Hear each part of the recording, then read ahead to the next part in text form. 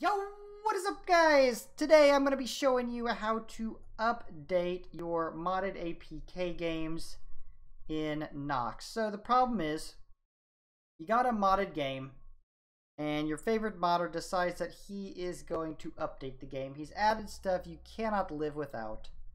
So, you download the updated file, you drag and drop it into Nox, and nothing happens. Less than nothing happens. The original game opens up, it's not updated.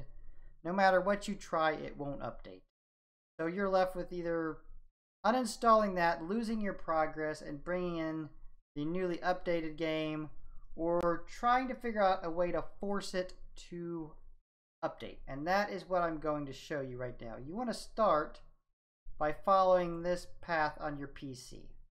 This PC whatever drive you have Nox on, Windows C for me, user, whatever your username is, Nox share and app. So this is where you are going to drag and drop the updated file to.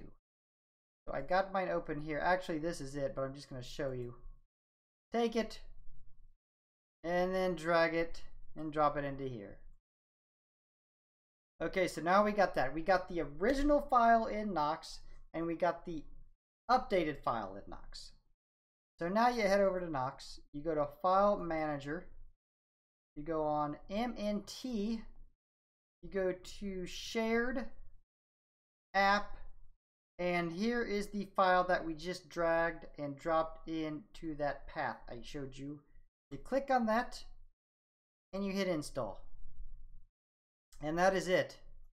Your game should now be updated with no progress loss. I hope this helps you guys out. It took me a while to figure this out. Hopefully I saved you guys some time. Peace! Bruchminati out.